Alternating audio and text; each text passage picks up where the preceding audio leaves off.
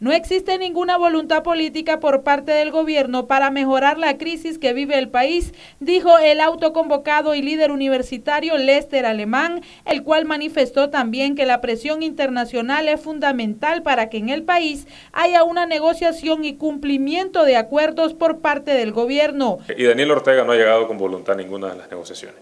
Siempre se le ha presionado a negociar.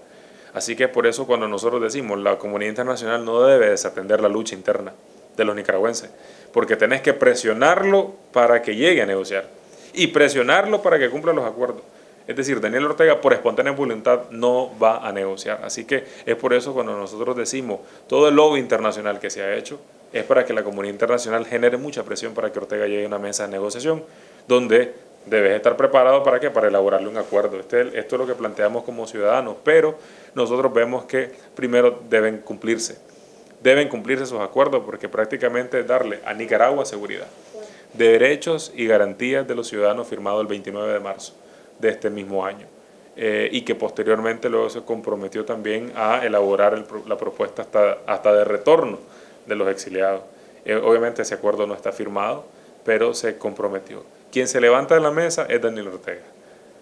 Así que tenés una alianza cívica que ahora estamos pues, en, un proceso hasta reorganizativo, hasta de mismas acciones para continuar acompañando la, continuar acompañando la lucha interna, pero que después de haber sido desatendida en una mesa de negociación donde Ortega no se presentó y la desatendió. Hoy tenés un Ortega que fortalece el discurso diciendo de que aquí el otro lado se levantó y que no tenemos voluntad como nicaragüenses de resolver el conflicto. No, aquí el que no tiene voluntad es él.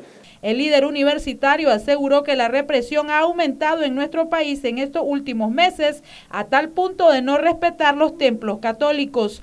Nosotros lo que estamos valorando, y, esto es para toda la ciudadanía, ¿no? una valoración que, se ha visto desde las redes, eh, comentarios cercanos, donde ves un régimen totalmente eh, que en su cobardía ha encrudecido la forma de, reprimir a los nicaragüenses, viendo hasta el punto de no respetar ni a unos templos católicos, ni respetar obviamente a un sacerdote, eh, como lo ha hecho no respetando a sus ciudadanos. Nosotros estamos claros de que aquí tenés un régimen que acusa de lo que ellos hacen.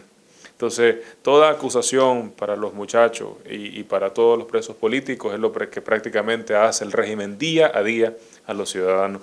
Nosotros, obviamente, por solidaridad de los madres, de los familiares en general, de los presos políticos, siempre se ha demandado, eh, obviamente, su liberación de los más de 129 que habían en un primer momento.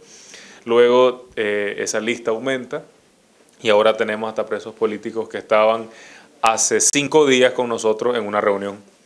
Eh, y que estábamos obviamente en, temas de continuar la resistencia, pero sobre todo el nivel organizativo, ¿verdad? Que esto conlleva, dado al escenario que tenemos eh, eh, ante, ante nosotros. Para Noticias 12, Castalia Zapata,